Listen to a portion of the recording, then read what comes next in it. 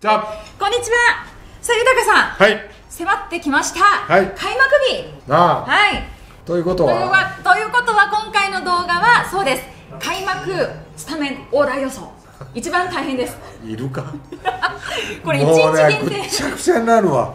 もう頭が。いやいや本当に。豊さんの考えてる姿を隣で見ててもうすんなり決まるチームとすっごい熟考しながら考えてるチームと分かれるんですよ、まあまあそうだよな。まあまあでも今年からこう使われ方を見てるとはい。変えてくるんだなとか、うん。まあいろいろ分かるチームもあるしね。はい。え果たしてこれ誰を使うんだっていう使い方もそうなんですよ、まあ競争させてるんだろうけどもね。オープン戦で、まあ、あるけどね。はい、はいはい。というわけで今日は、はい。横浜 d n a と日本ハムの開幕を大予想いきましょう、はいじゃあまずは横浜 d n a から。はい。はい。1番はい。レフトうん。佐野。ああ1番で佐野選手。まあ、これは出塁率だとか、はい。まあ、やっぱり一番確率のいいバッターを持ってきたというね、まあ、足というよりも確率出塁率というものを持ってきたということかな。はい。そして2番です。2番はセンター桑原ここは12で2で。まあそうだね。もう突撃という感いじね、やここね林っていうのを2番に入れようかなと思ったんだけど、はい。やっぱ経験からするとやっぱ桑原を持ってきた。うん。開幕ですしねそうそうそうそう。ここは。はい。さあここからクリでーンアップ。3番、はい。えーサード宮崎、はい。宮崎選手。はい、で4番セカンド牧、はい。牧選手。はい。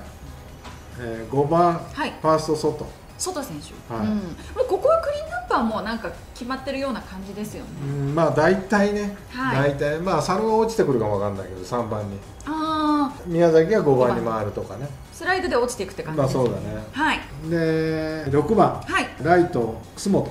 お楠本選手はい。はい、まあ、これ青柳が来るんでしょ？そうです。だだからまあ青柳キラー。おー入ってきました6番に。はい、はい。で7番、えーショート林やっぱりここは対戦相手が青柳投手ってことも、まあねなまあ林というね、まあまあ割と打ってるし、はい。うん。まあ林の開幕のスタメンって一生に一度しかないんだよねルーキーの時の。はい。だからまあそこで使ってやって大きくしたいなというね。動きもいいしね、森選手ではなくてやっぱりその林選手って豊さんはルーキーで。まあ、森はまだちょっとな雑なところがあるから、い。うん、林を7番と大抜擢ですね、はい。で9番。はい。キャッチャー戸柱、あ戸柱選手で。まあ、左という。はい。まあそうなるかな。なんか一番悩んだとこってどこでした？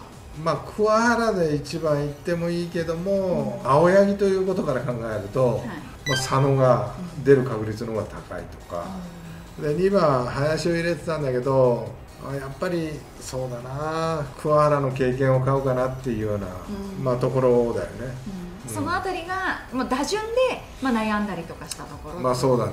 まあ悩まなかったのは牧だけだな。4番の。そこですよね、まあそうだな。でもまあそこ楽ですよね。だから森もいいんだけど林もいいといううーん。森と林ってどっちが好き？森はいっぱい大茂ってるけど、林はこうなんかこなんか間引いてるう間引いてる感じがするよねは私森なので森が好きですけど。あそうか。森藤だもんな。はい。まあでも森林コンビですね。森林コンビだよ なはい本当だよね。そうですね、うん。まあでもあのルーキーね若い選手の躍動っていうのも見たいですし。いやまあまあもちろんな。はい、うん。いいと思いますよ。そうだな。はい。でまあまあ。開幕投手決まってますしね。開幕投手は石田というね。そうです、石田投手でいくと。まあ石田もいろいろな紆余曲折あって、はいまあ、中継ぎに入ったりだとか、いろんなことをしながらまた先発の座を勝ち取ってね、はい。まあ、開幕投手まで行ったという、うん。まあ、昨年の開幕投手がねちょっと開幕は投げたけどその後あまり良くなかったから。はいだからまあ今年はね、はい。石田1年間通してん。ローテーション回れるように、うですね。まあ、頑張ってほしいけどね、はい、はさあパ・リーグ日本ハムい、です。日本ハムな、はい日本ハムめちゃくちゃなったんだよね 楽しみですよここは、豊さんがどう考えたのか。いや俺は当初矢沢がいいから、うん。矢沢って考えてたんだよ一番。をはい。あんまり良くなくなってきたんだよね、まあ、疲れのせいもあると思うんだけども、はい。まあ、やっぱりオーソドックスに行こうと思って、はい。一番はセンターの磯端、お磯端選手はい、うん。ちょっとねあの一時期怪我でちょっと離脱もしてましたけれども。まあそうだな、はい。まあもう怪我すんなよ本当に。いつもいつも怪我じゃねそうですよね。計算立たんぞみたいな。うん。ここはではい。2番。はい。セカンド石。井、石井選手セカンドで。うん。2番、やっぱ成長してるよな、彼はな。そうですよね。は2番に石井選手。はい。はい、で3番レフト松本、まあ、うん。ここら辺はね、ずーっと固定してるんだ。はい、新庄監督は。だからここら辺はね簡単だった。おー。4番はファースト野村。はい。これ一塁と三塁変えたんだよ、ね。本来サードですもんね、うん。これ。やっぱボールをより扱うところにうまい選手を持ってきたああそういうふうに変えたんですかね新庄なのか、はそっちの方がしっくりくるのか。はい。だから5番はサード清宮。清宮選手。うん。うん。まあ、これまた戻すかもわかんないけどな。途中でそうですね。ね。ううん。んはい。で6番はい。上川端はい。ショートね。はい。はい、で DH、お7番 DH うん、万波、万波選手 DH ではい、うんうん、でキャッチャー。こはい。こら辺はやっぱ清水を使いたいんだよね。俺京都の後輩だし。いや加藤でしょ。あの伏見っていう手もあるんだけど、はい。まあその宇佐美もあるんだけど、はい。やっぱ加藤を一番知ってるのは清水かなと思うんだよね。おまあ推測するに、まあ宇佐美もね去年ずいぶんかぶってたから、はい。だから伏見も使いたいんだけど、はい。清水も状態いいんだよ、うん。うん、だからまあ清水まあ、そこはちょこっと京都あの京都の後輩っていうのも入ってるのは兄弟だな。兄弟ですね。はい。キャッチャーは清水選手がまずかぶるとは。い、で9番、うん。ライト、はい。矢沢と。あここにルーキーの矢沢選手を9番で持ってきた、まあそうだな、だからまあ横浜の林の時にも言ったけども、はい。ルーキーの開幕の1軍のスターティングメンバーってもう一生に一度しかないんだよねやっぱ矢沢に俺は期待をしているし9番でもなんかスタートさせてあげたいなっていうまあ、そういう思いがあるかこれやっぱり状態が落ちてきてるとはいえな、うん、やっぱりまあ調整するでしょ。うん。開幕までにね。はい、だからまあやっぱ使ってやりたいよね開幕で。うん、開幕って独特だから本当に。あそうなんですね。独特だから。この一日は違うんですね。やっぱ違うね、うん、だから使ってやりたいなってそういう経験をさせてやりたいなっていう思そうね開幕の時にね、うん、あの大好きな今川焼き選手。今川頑張れ。今川も分からんよ DH は、うんいや万波って、はい。本当は守備につかせたいんだけど、うん。でも松本はやっぱりレフトで外せないですよね。しっかり守りからリズムを作りながら打席に立ちたいだろうし、まあ、石田端の足、はい、まあ、そういうことを考えたらセンターに置いとで矢沢の強肩、んうん、まあ、万波も強肩だけど矢沢も強肩だからな。けずそうですね。いやいや本当に。で矢沢の方がコントロールがいいんだよ。ピッチャーやってるだけ。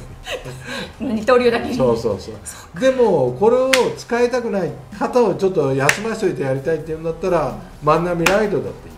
ああで DH に矢沢でいい矢沢選手でもいい。と、おおそこうんにだからまあ興味あるんですね。順日本になったけどねそうですね。そうそうそう日本人選手でずらっと揃いましたけれども、はい。でまあここはねもうピッチャーはもう昨年から言われてそうです。この前加藤に聞いたよ。はい。お前相当長い時間開幕投手って思ったら疲れてないかって言ったらはい。いやここに来て疲れてますみたいい。ようやく。なあの時はびっくりしただけでみたいああなでも光栄だっつってたよ。やっぱりエスコンの開幕投手だもん。でどこよりも早いですからね。そうそう。が寄ってきてねうん「板谷さん」みたいな「可愛かったよ元気っすか?」みたいな。本当ですか？いやお前が元気かよみたいな。疲れてんじゃないのみたいな。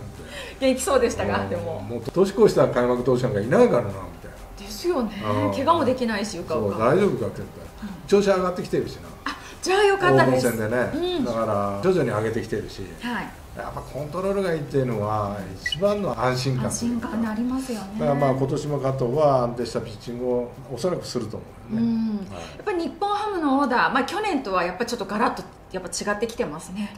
まあそうだな、うん。だから上川端6番に置いてるけども、はいショートのポジション。まあ2年目、勝負強いって言われてるけども、まあ、ここら辺が万波が上行ったりだとか、い。しなきゃダメだよ。ねうん、うん。そうですね本来は、で上川端が12番打てるような。まあ、そんなチームになると、はい。なんか落ち着いてくるかなっていうような感じがするよね。そうですね。やっぱ新庄監督っていうのは勝負強さは勝ってるかうん。ら、うん、だから6番っていうのを置いたけどはい。でも他にも勝負強い人間が出てくると、う大きいものが打ててね、そうなってくるとまた打順の変更があったりとかすると思うけどね。はいまあ期待したいよね。そうですね、はい。さあ今回は d n a そして日本ハムの開幕オーダー予想しました、はい、はい